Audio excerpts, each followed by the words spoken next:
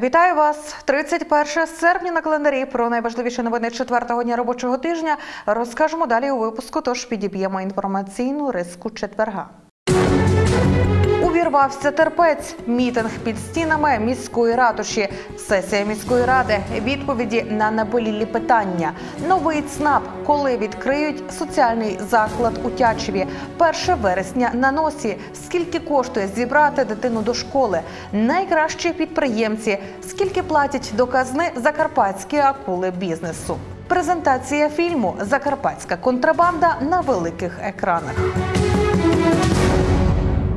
Під стінами Мукачівської міської ради зібралася майже сотня людей. Вони вийшли на мітинг проти продажу спортивно-лікувального оздоровчого комплексу ДЮ США, а також щоб озвучити представникам влади наболілі питання.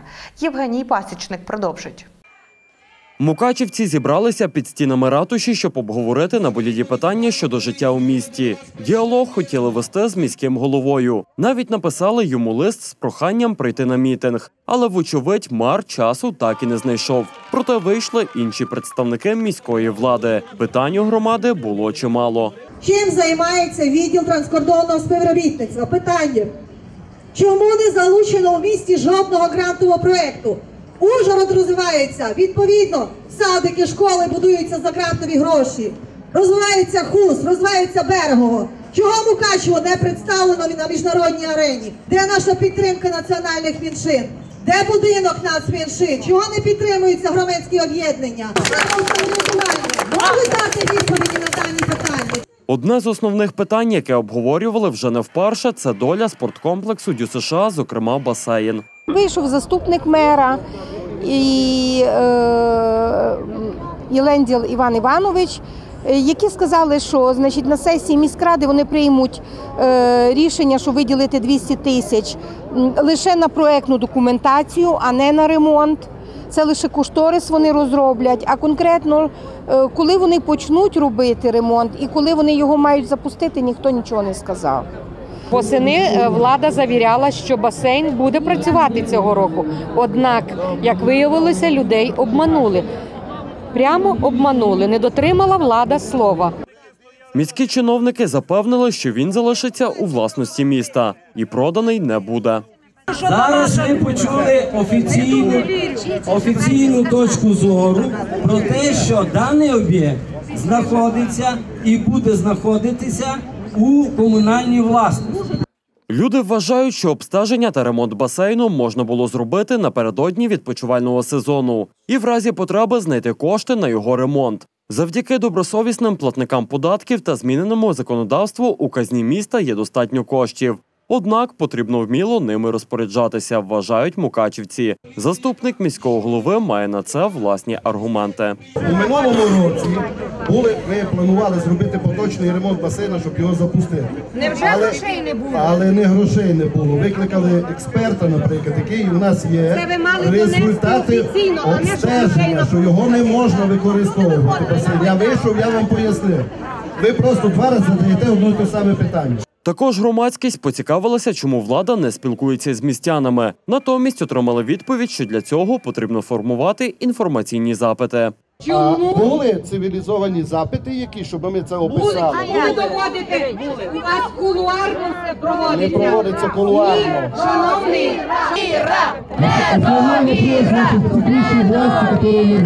Час від часу мітинг супроводжувався вигуками ганьба. Люди стверджують, що представники влади хоч і вийшли, але толку від цього насправді мало.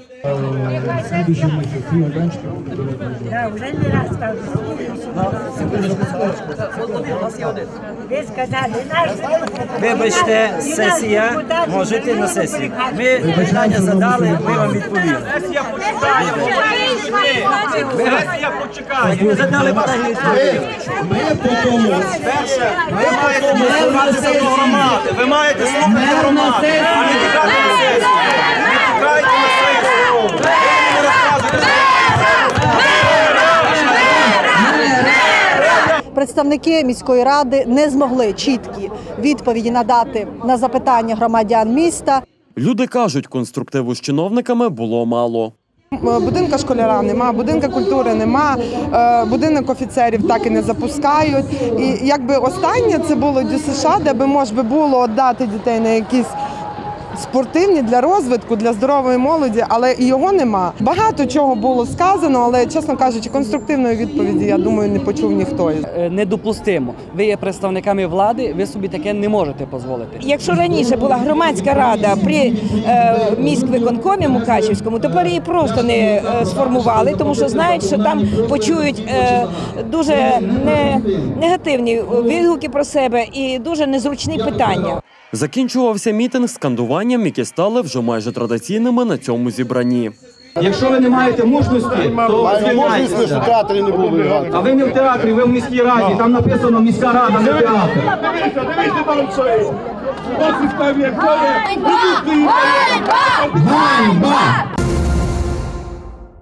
Сьогодні пройшла чергова сесія Мукачівської міської ради.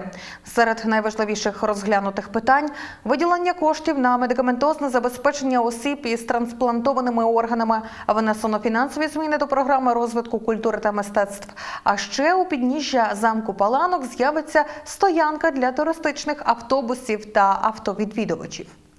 Також міський голова спробував пояснити скандальну ситуацію, що склалася навколо новопридбаних автобусів. На сесії були присутні 34 депутати, а на порядок денний винесено 28 питань. Розглядали питання, що стосували сфери охорони здоров'я, зокрема для медикаментозного забезпечення осіб з трансплантованими органами. На 2017-2019 роки в новій редакції передбачено виділити більше 2 мільйонів гривень. Також на сесії ухвалили програму новій редакції цукровий та нецукровий діабет на період до 2020 року. Здійснюються зміни в частині видатків на придбання інсуліну зменшення на 200 тисяч і відповідно збільшення на 200 тисяч е, коштів для придбання цукрознижуючих препаратів, оскільки там є надлишок коштів, а на придбання цукрознижуючих не вистачає. Депутати також ухвалили рішення збільшити фінансування програми культури та мистецтв, також створити комісію з розвитку культури та освіти в місті. Проголосували депутати міської ради і за збільшення видатків на впровадження єдиного електронного квитка. Зміни стосуються е, пункту 1.1 програми, е, а саме впровадження електронного квитка на суму 1 мільйон гривень. Загальні видатки у програмі становлять 4, 4 мільйони е, 780 тисяч.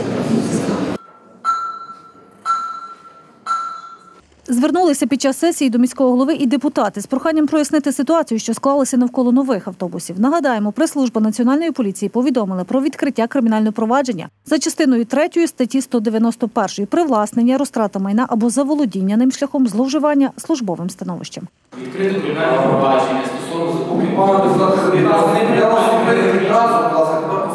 щодо цієї ситуації. Не було ні одного запиту до цього повідомлення, ні на комунальне підприємство, ні в міськвиконком, нікого. Крім того, готується сьогодні судовий позов за поплюження честі гідності, як ім'я міста Мукачева, як і працівників, які тут працюють. Друге, відкриті для всіх органів е, правоохорони, нехай йдуть, перевіряють, вивчають і роблять.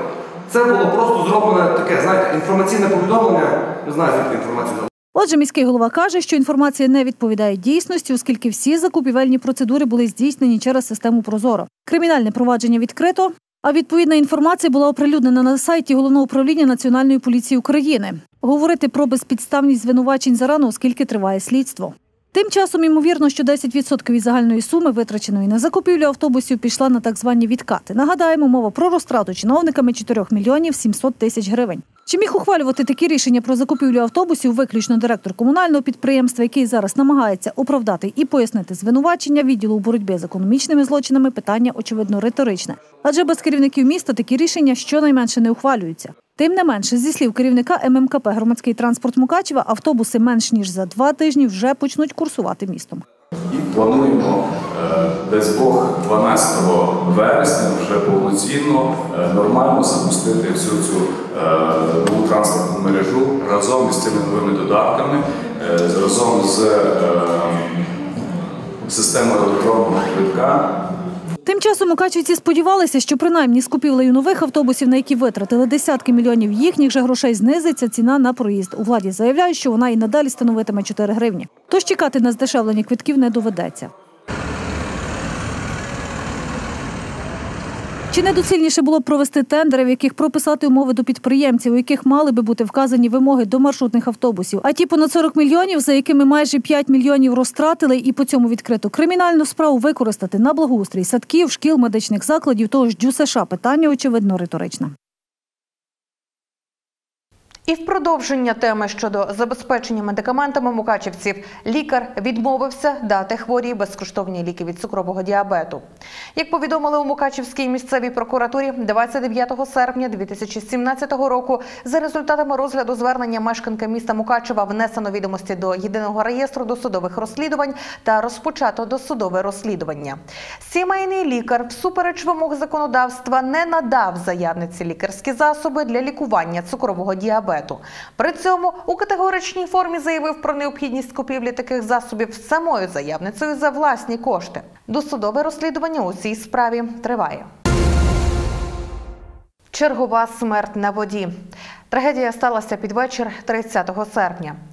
В оперативно-рятувальну службу надійшло повідомлення, що в річці Тиса у районі села Крева-Хустського району потонуло двоє неповнолітніх 2001 та 2009 років народження. Для пошуку тіл загиблих до місця було направлено водолазів. За годину рятувальники відшукали тіла загиблих на п'ятиметровій глибині річки та підняли на берег. Обставини трагедії з'ясовують правоохоронні органи, повідомляє управління ДСНС України у Закарпатській області.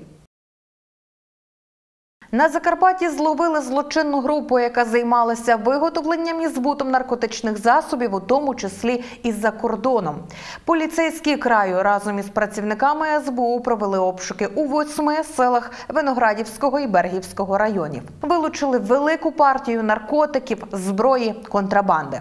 Зокрема, вилучено 141 рослину конопель, кожна висотою 2,5-3 метри, пів кілограма готової для вживання марихуани, зрошувальну систему для вирощування конопель, 15 мільйонів угорських форентів, 10 тисяч доларів США, 9 тисяч 390 євро, ювелірні вироби, три джипи марок Toyota Land Cruiser, Lexus і Mercedes, два мотоцикли марки BMW і Suzuki, а ще гранату РГД-5, мисливську рушницю, ніж типу мачете, маски із вирізами для очей. Під час обшуків знайдено також 7,5 тисяч пачок цигарок без акцизних марок. Мали затримані і спеціальні фасувальні пакети, які приховують від службових собак запах марихуани. Лише від збуту даної партії марихуани наркоділки могли б заробити близько півтора мільйона гривень. За цим фактом поліція розслідує кримінальне провадження. На Перечинщині затримали підозрюваного у крадіжці церковних атрибутів із храму у селі Мокра. Із тамтешньої церкви невідомі особи викрили сейф, у якому знаходились 11 тисяч гривень. Слідчо-оперативна група, що прибула на місце злочину, розшукала сам сейф неподалік від храму.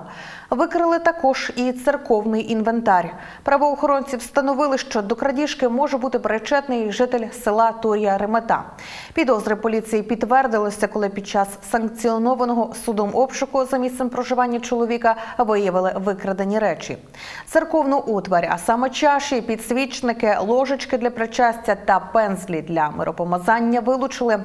За цим фактом розпочато кримінальне провадження.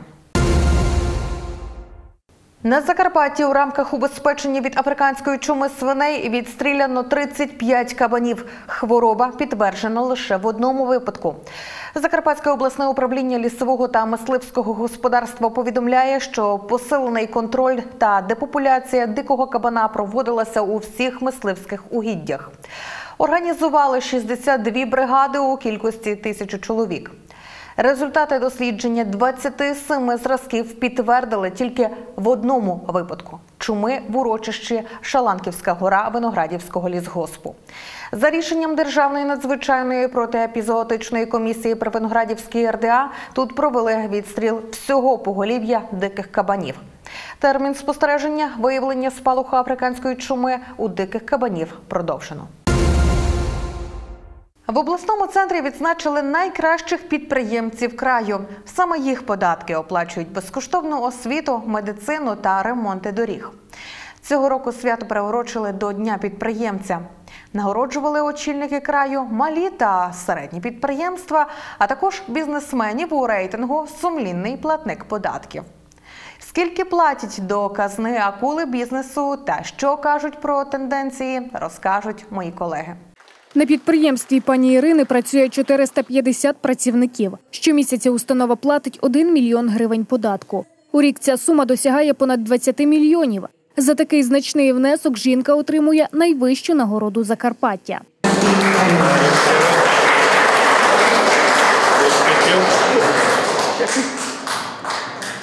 Пані Ірина найпершим відзначає, що нині навіть у цей час набагато простіше працювати аніж раніше. Зараз, не дивлячись на всю складну ситуацію в державі, ми маємо автоматичне відшкодування. Друге питання, також з яким підприємці дуже багато років звертали на нього уваги, це навантаження на фонд оплати праці. Якщо раніше було два- 38% е, єдиного соціального внеску нараховувалося на заробітну плату, то зараз 22%. Завдяки таким сумлінним підприємцям Закарпаття одне з кращих регіонів, які поповнюють бюджети податками підприємців. За цей рік надходження у порівнянні з минулим роком перевалила за 140%. Ми на 40% е, перевиконуємо те, що було минулого року, і це е, ми можемо сміливо говорити, що це е, розширення можливостей сьогодні наших підприємств. Хочеться вірити, що і питання безвізу також дасть можливість проштовхнути трошки наших наші підприємства на європейський ринок. Дипломами та відзнаками вітають малі та середні підприємства. Та підприємців у рейтингу сумлінні платники податків відзначають теж меценатів та благодійників. Вітаю вас щиро, як підприємця року 17-го і з почесною грамотою. Це чисто людські риси характеру, це доброта, доброзичливість і також ну, бажання допомогти, просто бажання допомогти. Приурочили вітання платників податків до Дня підприємця. Останніх вітають очільники краю та обласної митниці. Завдяки вам і є обласна державна адміністрація, тому що ви сьогодні формуєте економічний, фінансовий потенціал нашого краю. Немає платників е, податків, які були чужі з держави. Адже держава не має своїх коштів, вона має кошти платників податків. Ви формуєте ці бюджети, завдяки вам проводяться реконструкції. Діти можуть вчитися в теплих і світлих школах, садочках, і ви робите це не тільки для себе, не тільки в себе вдома, а також робите це для всього краю. Е, своєю сумлінною сплатою платежів та податків надаєте нам унікальний шанс, е, можливість користуватися цим шансом, е, поліпшити дороги та інфраструктуру митниці. Нагороджують підприємців уже шостий рік поспіль. Відбувається це у два етапи. Цього року вперше аж 18 переможців першого туру. Ну, Потім їх подаємо на другий тур, і вже Київ в своїй комісії визначає з них переможців другого туру. Я дуже радію успіхам саме за минулий рік, бо були в 2014 році було аж 6 і 18. Уявляєте, наскільки це велика перемога. Другий етап конкурсу всеукраїнського рейтингу сумлінних платників податків відбудеться вже цієї осені. Лідери закарпатських осередків партії Рух Валентина Наливаченка, Справедливість та рух нових сил Михайла Саакашвілі заявили про створення штабу спільних дій. До них долучилася і партія УНАУНСО. Відтепер ці політичні сили координуватимуть свої дії та виступатимуть спільним фронтом в українській політиці. Рух Валентина Наливайченка, справедливість рух нових сил Михайла Саакашвілі та політична партія УНАУНСО об'єднались. Ці політичні сили на Закарпатті працюватимуть разом у новоствореному штабі спільних дій.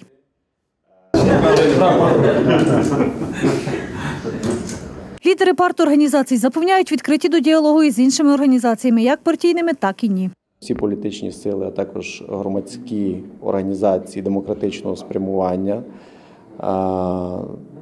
долучитися до нас і рухатися разом до перемоги, до виправдання кради- кредиту довіри українців. Новостворені команди, що позиціонують себе як опозиціонери, вже сформували маніфест спільних дій. Запевняють, мають конкретний план.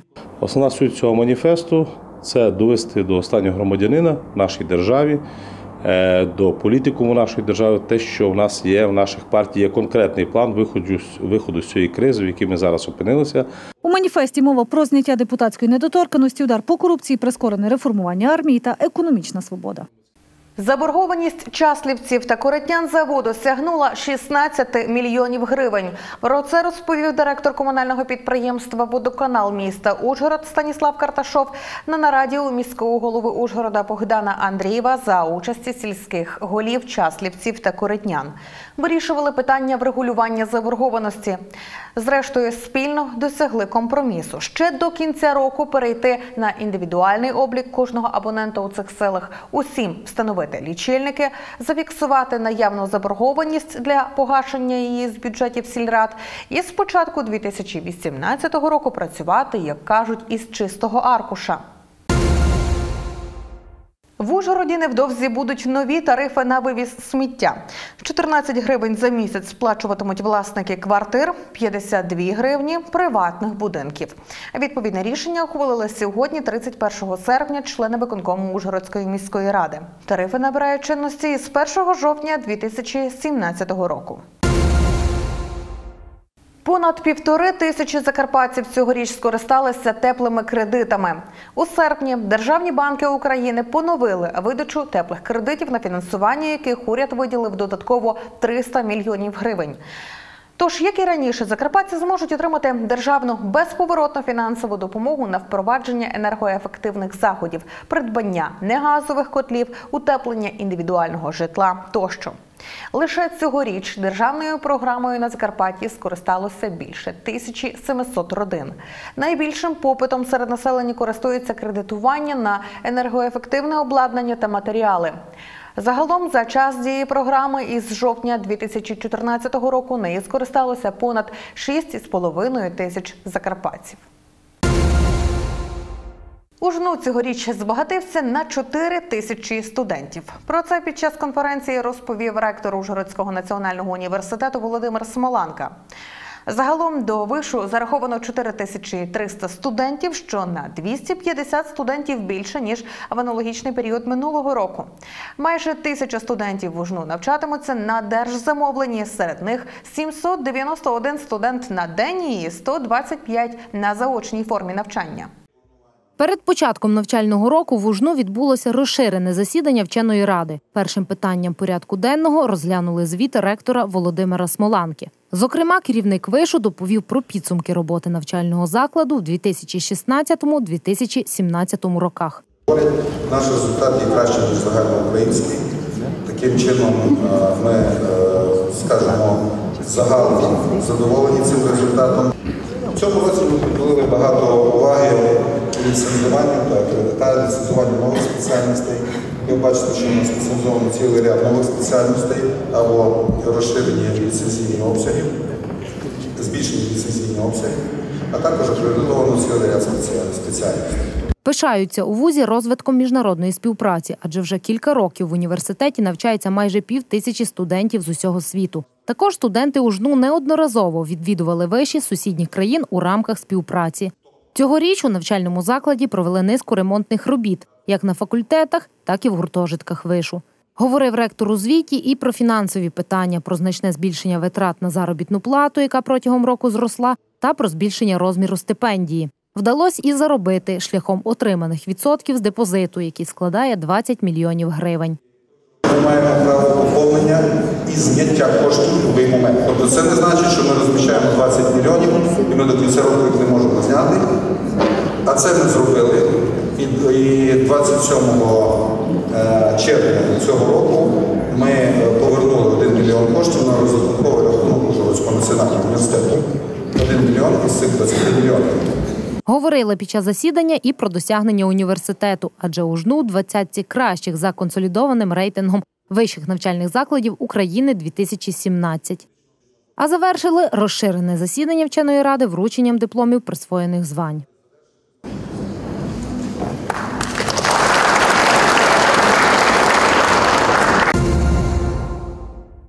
Вже завтра у всіх школах країни пролунає перший дзвінок, що скличе дітей на навчання, а вчителів на роботу. Батькам, щоб підготувати школяра цьогоріч, як і минулі роки, доводиться викласти чимало коштів на приладдя. На чому акцентують увагу дорослі при підготовці дитини до школи? Далі у матеріалі. Літні канікули на фінішній прямій. Учні налаштовуються на навчання, а їхні батьки виймати гроші з гаманців. В наш час мати школяра в родині не надто дешево. Стрибок цін на приладдя, яке необхідно в навчальних закладах, цьогоріч дорослі помітили. Збирати дітей на даний момент в школу по карману воно б'є. Ну а що робити? Потрібно. Бо не пустиш дитину без того олівця, без тих канцтоварів, без тих альбомів і так далі. Ну, якщо взяти в місті з формою з рюкзаком, по мінімуму тисячу гривень. Якщо взяти від А до Я. Аби укомплектувати школяра, дорослим варто приготувати не менше півтисячі гривень. Неабияку увагу батьки приділяють і ранцям. Кажуть, дивляться, аби він був рекомендований ортопедами, адже не бажають, щоб у їхніх дітей були проблеми зі спиною, і не шкодують задля такого доплатити декілька сотень гривень. Я йду в 9 клас, і напевно, як для кожної дівчинки, для мене важливо мати е, кольорові якісь зошити, які мають гарний візерунок, для того, щоб коли я не маю настрою вчитися, для того, щоб це мені піднімало настрій. Ціни нормальні ціни. Купляємо зошити, ручки, пенал. Ну, ми вже закінчили то діло, тепер збираємося купувати одежду. Чимало коштів потрібно віддати і за форму, яка в деяких школах є обов'язковою. Менше вчиться гімназія, форма обов'язково, але це теж дуже зручно, бо не потрібно думати, які джинси. Дитина не виділяється на фоні других діточок. Там нема таких комплексів, що в нього така рубашка, а в мене такі брюки, а в мене такий сарафанчик. Так що форма це дуже прекрасно. Треба потрібно на неї потратити, але воно себе окупає. Ще батьки додають найголовніше, щоб дитина пішла до школи радісна та щаслива, з гарним ранцем у зручному і якісному одязі та взутті. В Ужгородських школах та НВК напередодні нового навчального року 100% забезпечені підручниками учні 6 та 8 класів. Для школярів перших, других, третіх, п'ятих, сьомих класів є від 92 до 98% підручників. Для четвертих класів 89%. Про це повідомляє Ужгородська міська рада. Уже найближчими днями до шкіл надійдуть підручники, яких не вистачає, тому батькам не варто хвилюватися із цього приводу. Купувати навчальну літературу не потрібно. Кошти на придбання підручників виділені як із державного бюджету, так і з міського. Залишається лише питання підручників для дев'ятикласників. Наразі половина вже є. Решту протягом вересня-жовтня забезпечать загальнодержавні видавництва, які друкували нові видання у зв'язку із оновленням навчальної програми, зазначають у мерії. Центр надання адміністративних послуг відкриють у центрі міста Тячів. Ремонтні роботи завершені, техніка завезена, залишилося прибрати приміщення і з 4 вересня ЦНАП запрацює у тестовому режимі. Коли ж офіційно відкриють центр та які послуги надаватимуть населенню, знає Ірина Ковальчук і вже готова поділитися подробицями. Центр надання адміністративних послуг облаштували у місті Тячів на вулиці Нересницькій, 5 в колишньому приміщенні суда. Ремонтні роботи завершені, залишилися останні штрихи. Рецепція, де люди можуть отримати інформацію, до кого підійти з конкретним їхнім питанням. Фронт-офіс, де адміністратори прийматимуть громадян, кабінет закордонних біометричних паспортів та id карток зона очікування, такі функціональні приміщення ЦНАПу. Надання послуг забезпечуватимуть шестеро фахівців. Реєстрація нерухомого майна. Це є, що стосується земельних е, питань, е, архітектури, містобудування, послуги. Це є реєстрація місця проживання, ну і, звичайно, видача оформлення та видача ID-карток і закордонних паспортів. В майбутньому, звичайно, ми плануємо поширювати цей перелік послуг. З 8 до 16 години 4 дні. Один день з 8 до 20 години, а в суботу з 8 до 15 без обідньої перерви. Таким буде графік роботи ЦНАПу, аби максимально зручно і доступно надавати послуги населенню. Разом з шведським по шведським проєктом шведами ми е, його облаштували. В цьому напрямку е, значну суму біля 840 тисяч надало нам, надав нам цей проєкт разом з шведами, і десь е, біля півтора мільйона ми затратили на ремонт приміщень і на облаштування всієї території біля цього ЦНАПу. Там ми вже зробили алею, е, зробили освітлення, зробили все необхідне для того, щоб люди себе почували там комфортно. Не лише у залі ЦНАПу, а і е, біля нього, якщо буде потреба якимось чином е, почекати. З понеділка, 4 вересня, центр надання адміністративних послуг працюватиме у тестовому режимі. Офіційне відкриття заплановане 23 вересня на день міста Тячів. Про життя закарпатських контрабандистів вийшов фільм Межа. Стрічка словацько-українського виробництва, яку знімали на Закарпатті, в тому числі.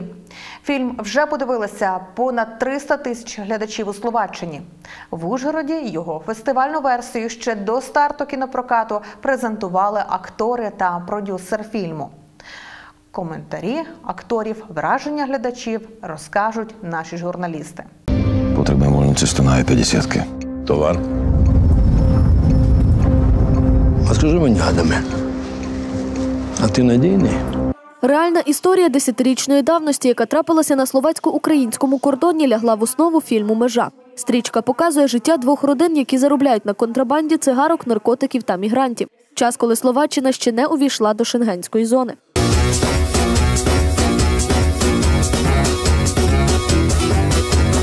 Фільм вже побачили у Словаччині. Там він за перші три тижні зібрав понад 300 тисячну аудиторію. Наразі актори та продюсер презентують фестивальну версію межі в Ужгороді, адже знімали кіно в Чехії, Словаччині та на Закарпатті. Тут починалася ця стрічка. Тут ми її знімали в Мукачівському, в Ужгородському районі, безпосередньо в Ужгороді. Е, Ця стрічка про людей, які тут живуть. Тому для нас е, е, те, як буде сприйнята ця стрічка в Ужгороді, дуже важливо. Одну з ролей грає Ужгород Карима Зюбіна. Головного контрабандиста Йону Дацея грає Євген Лібознюк. За сюжетом він чоловік Рими, її брат Володимир Геляс. Для кожного актора показ фільму в Ужгороді особливий, адже переживають, як його сприйме закарпатський глядач. Я вперше граю жінку, яка живе в Ужгороді. Е, Багато чого знаю з цього життя, багато чого знаю з життя бізнесменів так званих. Їх називати контрабандисти. Але в будь-якому це порушення закону. І як писав Достоєвський, за кожним злочином буває покарання. радий, що я зміг е, працювати на цьому першому українсько-словацькому проєкті. А страшно щасливий, що е, вислідок цієї роботи є такий, який є. А, е, дуже цікаво мені буде бачити вашу реакцію, як ви його приймете. Ну, я такий майже головний контрабандист. Так. Живе з цього і якийсь там. І щасливий. Так, і щасливий. І фактично при тій всій ситуації фільму він залишається ну, фактично. Ні, ні забитий, ні убитий, як то кажуть. Знаєте. Ну, працювати було приємно. Також у фільмі знімається відомий і улюблений всіма український актор Станіслав Боклан. Він теж по той бік закону. А от словацького прикордонника-корупціонера грає словацький актор Анді Гриць, дідусь якого родом із Закарпаття. Ako policajný капітан вам dávam verejný prísľub, že ilegálnym živlom, prevádzačom a pašerákom... Ja v tomto filme hrám skorumpovaného policajného dôstojníka. Oficera. Oficera. To niečo neobvyklé, lebo určite ani u vás, ani u nás žiadna korupcia nie je. To je len filmová postava. Але актори дарма непокоїлись, показ фільму виявився успішним і в Закарпатті. Глядачі повністю заповнили залу кінотеатру. Після перегляду діляться враженнями. Кажуть, фільм справді гостросюжетний та емоційний, а також жартують на тему словацької корупції. Ми дуже здивувалися, що працівники поліції Словаччини вони теж корумповані. Ми думали, що це лише в Україні, а виявляється, в Європі теж є корупція. Бачите, ми щось таке новеньке узнали для себе. коли вбили Івора. От тоді було якось е, ну, дуже напружено і дійсно не, не, всі, не всі режисери наважуються знімати ну, акторів в труні, і це було так дуже емоційно для мене. Фільм отримав найвищу нагороду на кінофестивалі в Карлових Варах Кришталевий глобус за кращу режисуру.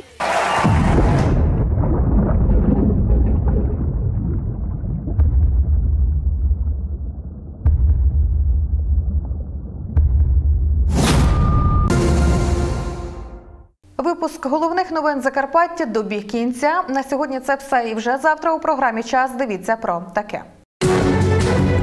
Шанс на життя, збір коштів на дороговартісну операцію, благоустрій громади. Над чим наразі працюють у Тячівській ОТГ. На цьому ставимо крапку. Дякую всім за увагу. Ці та інші новини дивіться на нашому сайті mstudio.net.ua, на одноіменній сторінці у соцмережі Facebook та на нашому каналі у мережі YouTube. На все добре.